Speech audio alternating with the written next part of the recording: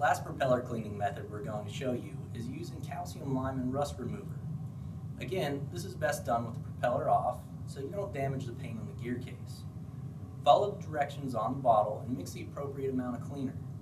Spray the cleaner on the propeller and scrub it with a lightly abrasive household dish sponge. Once the staining has been removed, rinse the propeller with fresh clean water and dry with a clean cloth. Finally, apply wax to protect the propeller's finish.